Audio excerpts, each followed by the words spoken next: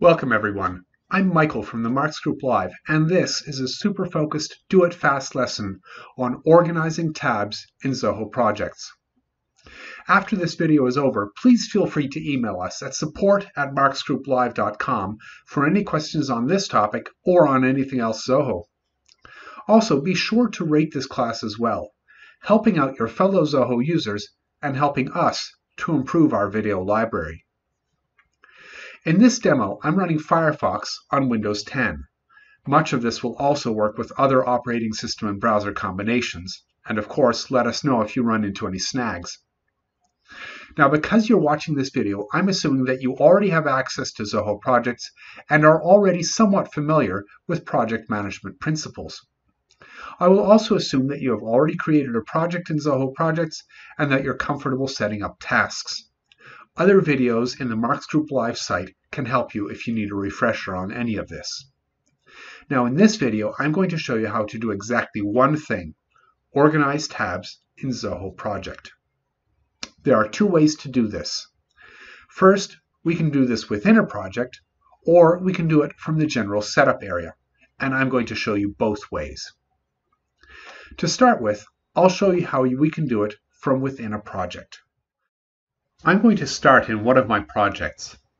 Over here on the left side of my screen, we have a column of icons that Zoho refers to as tabs, and each one represents something that you might do whilst managing a project. Zoho has a default sequence for those tabs, where it puts the ones that it thinks you're most likely to use at the top, and then there's an ellipsis at the bottom that tells you that there are more things hidden down there. The balance between items that I see in the column versus the additional area depends on the pixel dimensions of my screen.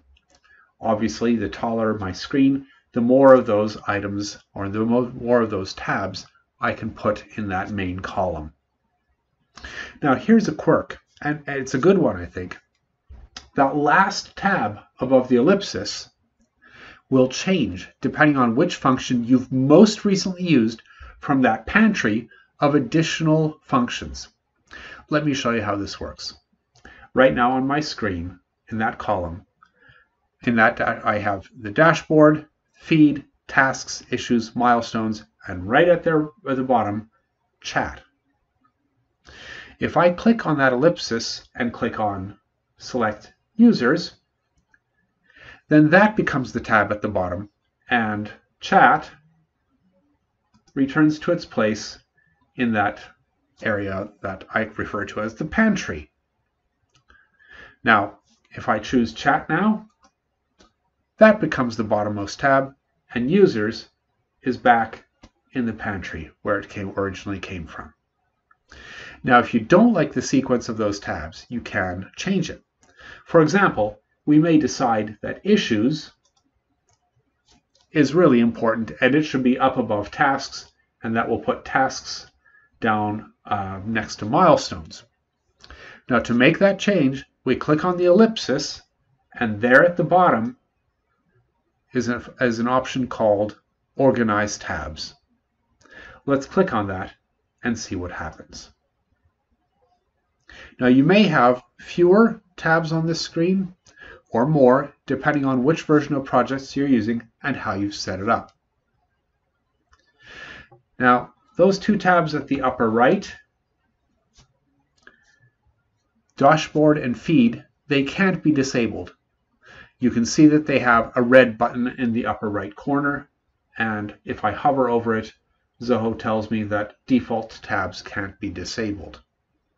However, any tab that has a green button in the upper left corner can be disabled by clicking the button. So let's say I'm not going to enable finance on a project. All I have to do is click on the green button.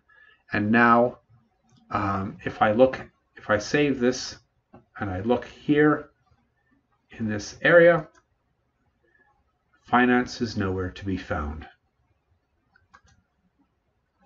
Now, of course, it's still here. You can turn this off without worrying that you're going to delete the function it just hides the function from that, uh, from that list of tabs. So I re-enable it by clicking on the white button and now it becomes green. Off, on. And that just determines its visibility in that list of tabs. Now earlier I mentioned that I wanted to move issues so that it would be up above tasks. And to do that, I'm going to grab it and move it to the left. And then tasks moves down to the space that issues used to occupy. In fact, the entire list can push. So if I take Gantt, chart, Gantt and reports and I want to move that up to the top position, say I want to move it to where tasks is now, it will push everything down. It doesn't just swap the position of the two items that I'm moving, it moves everything uh, that's either above it or below it. Now, let's put issues where tasks used to be. Now tasks and milestones are together, which to me makes sense. Now when I'm moving a tile, you can see right underneath it that that's number three, that's two, that's one. Let's look at the end here because this is helpful to see. That's number nine and this is number 10. So the order in which these things appear vertically is corresponds in this window from top to bottom, left to right. So dashboard through feed, through issues, through to finance, then forums, pages, and ending with Gantt and reports. Now, I've got issues where I want it to be, and that's great. Uh, Zoho asks me about updating my selection beyond the current project.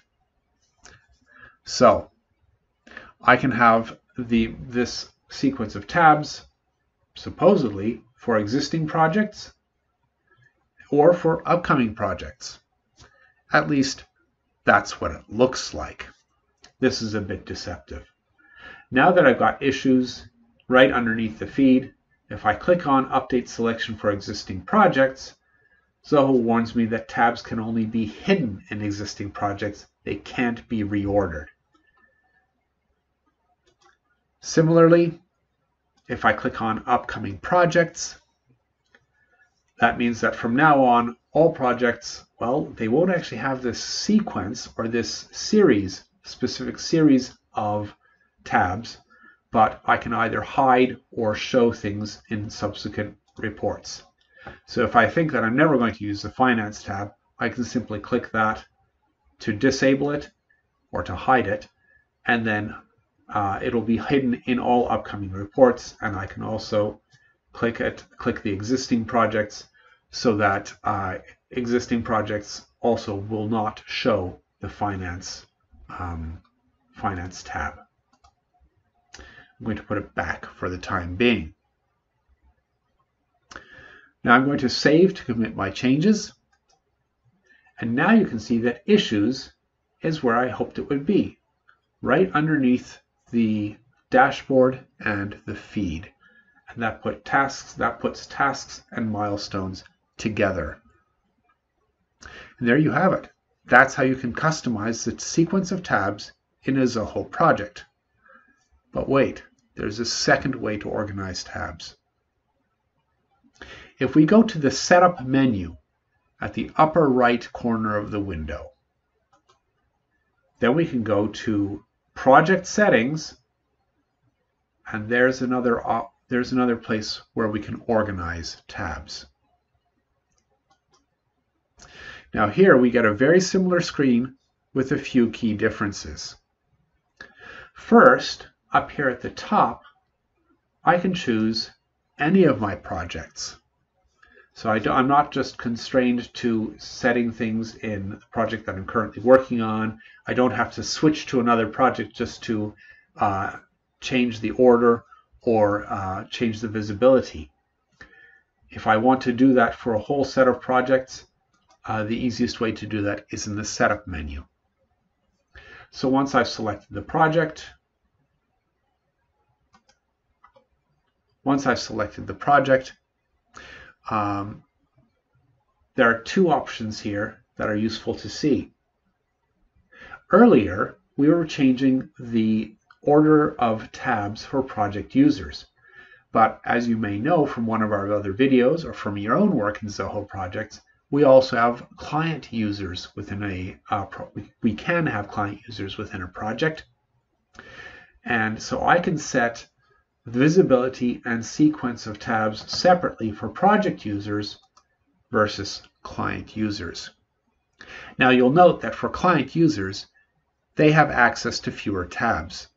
The assumption is that a client user doesn't have full visibility of your project in the same way that team members do, and even where they have visibility, they can't always necessarily participate or change values, which probably makes sense because if they're doing that, then they're probably members of your project team rather than clients. For clients also, client users also, we can only set the, visi the visibility of these tabs. We can't move them around. And once again, we can choose to apply these changes to existing projects or upcoming projects or both. And because we can't move them around at all, Zoho doesn't have to give me a warning that those changes can't be, uh, can't be exported to other projects. And that's all there is to organizing tabs in Zoho projects. I hope you've enjoyed this video. Check out our library for other training videos like this one. If you have suggestions for other classes or for questions that you may have about Zoho, email us at support at marksgrouplive.com and thanks for viewing.